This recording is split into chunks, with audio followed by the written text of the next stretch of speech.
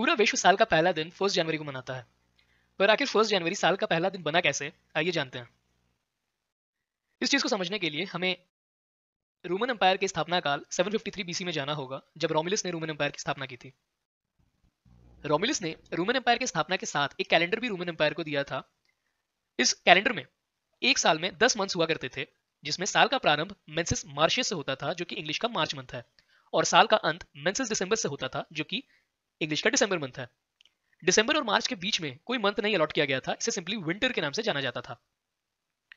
Menses Martius से लेकर के मेंसिस यूनिस तक के जो मंथ हैं, वो रोमन गॉड्स या गॉडेस के ऊपर रखे गए थे। मेंसिस मार्शियस नाम पड़ा है Roman god of war Mars के ऊपर। उसी प्रकार मेंसिस अप्रिलिस नाम पड़ा है गॉडेस ऑफ़ लव वीनस के ऊपर, जिसे ग्रीक भाषा में एफ्रोडाइट कहा जाता है। इसी से एप्रिलिस नाम अस्तित्व में आया। इसी प्रकार मेंसिस मायुस जिसे इंग्लिश में मे कहते हैं यह नाम आया है गॉडेस ऑफ़ स्प्रिंग और वॉम्थ माया के ऊपर। और मेंसिस यूनुस गॉडेस जूनो के ऊपर आया है, जो कि मैरिज और फर्टिलिटी की देवी हैं। रोमिलस के कैलेंडर में मेंसिस मार्शियस से लेकर मेंसिस यूनिस तक के मंथ का नाम देवी देवताओं पर रखा गया है। वही मेंसिस क्विंटेलिस से लेकर मेंसिस दिसंबर तक के मंथ का नाम उनके आने वाले क्रम के अनुसार रखा गया है with respect to first month example के रूप में मेंसिस क्विंटेलिस मेंसिस मार्शियस से फिफ्थ पोजीशन पे आता है। इसीलिए इस मंथ को लैटिन में क्विंटेलिस अर्थात इंग्लिश में फिफ्थ मंथ कहा गया है।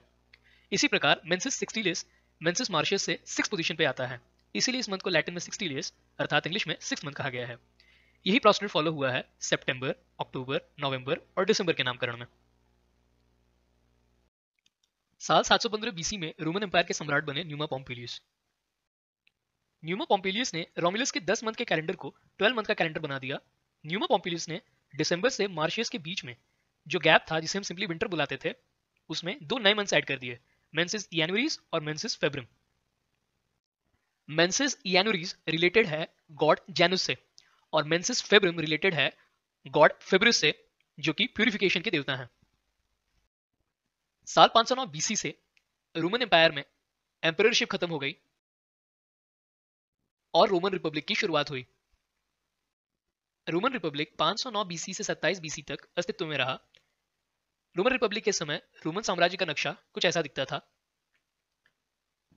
रोमन रिपब्लिक में एम्पायर के स्थान पर कॉन्सुल्स नियुक्त किए जाते थे, जो कि इलेक्टेड ऑफिशियल्स हुआ करते थे, और ये एक नहीं, बल्कि एक बार में दो हुआ करते थे। इन कॉन्सुल्स का चयन इलेक्शन के द्वारा किया जाता था। इनिशियली इनके इलेक्शन का डेट फिक्स नहीं था, परंतु एक सौ बीसी से फ़र्स्ट जनवरी को इन कॉन्सुल्स के इलेक्शन का डेट फिक्स कर दिया गया। जब रोम के दो कॉन्सुल्स ऑफ़िस में इलेक्ट होकर के नियुक्त होते थे तो उस समय से रोम के एडमिनिस्ट्रेटिव ईयर की शुरुआत होती थी। और यह एडमिनिस्ट्रेटिव ईयर उन्हीं दो इलेक्टेड कॉन्सुल्स के नाम से जाना जाता था। अब चूँकि 153 बीसी से एडमिनिस्ट्रेटिव ईयर की शुरुआत फ़र्स्ट जनवरी से होने लगी, इसीलिए इसे एडमिनिस्ट्रेटिव ईयर का प्रथम दिन भी माना जाने लगा। 49 बीसी से 44 बीसी के बीच में रोम में एक तानाशाह अर्थात डिक्टेटर अस्तित्व में आया, जिसे हम जूलियस सीजर कहते हैं।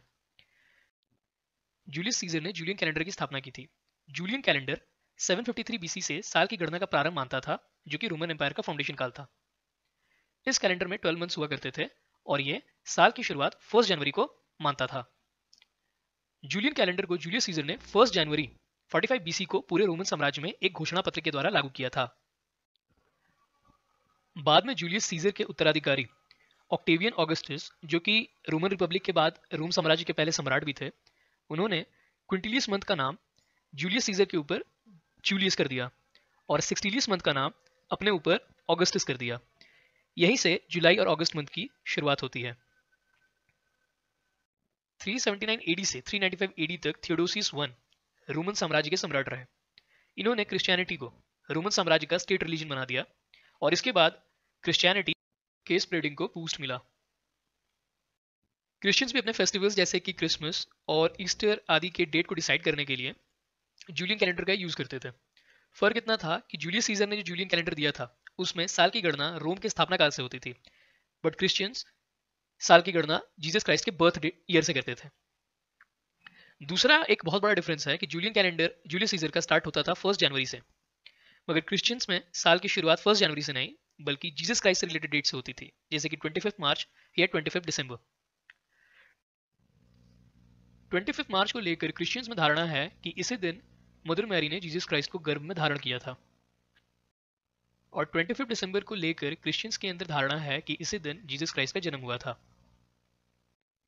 क्रिश्चियंस फ़र्स्ट जनवरी को भी सेलिब्रेट करते थे, परंतु साल के प्रथम दिवस के रूप में नहीं, बल्कि जीसस क्राइस्ट के सर्कमसीजन और उनके नामकरण के दिवस के रूप में। अक्टूबर 1582 में पोप ग्रेगोरी थर्टींथ ने जूलियन कैलेंडर के स्थान पर एक नया कैलेंडर लागू किया, जिसे हम उनके नाम से ग्रेगोरियन कैलेंडर कहते हैं।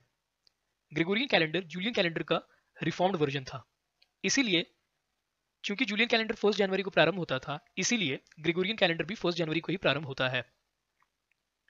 यह कैलेंडर अक्टूबर 1582 में पोप ग्रेगोरी थर्टीन के द्वारा एक पैपल बुल के थ्रू लागू किया गया था।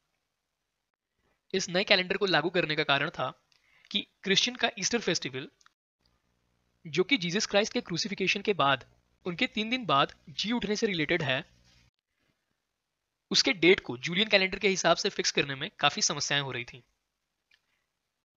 धीरे धीरे यूरोप ने ग्रेगोरियन कैलेंडर को जूलियन कैलेंडर के स्थान पर एक्सेप्ट कर लिया। बाद में यूरोपियन देशों ने कॉलोनाइजेशन के द्वारा पोप ग्रेगोरी थर्टीन के ग्रेगोरियन कैलेंडर को विश्व के आधे भूभाग पर थोप दिया, जिससे इस कैलेंडर ने इंटरनेशनल स्टेटस प्राप्त किया।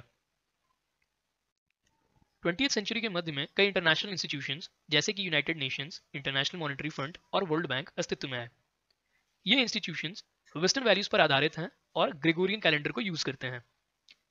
इन इंस्टीट्यूशंस का विश्व के जियोपॉलिटिक्स और इकोनॉमिक इश्यूज़ पर बड़ा पकड़ है। यही कारण है कि विश्व के लगभग सभी देश इन इंस्टीट्यूशन के मेंबर्स हैं और इन इंस्टीट्यूशन के ग्रेगोरियन कैलेंडर को यूज़ करने के लिए बाध्य हैं।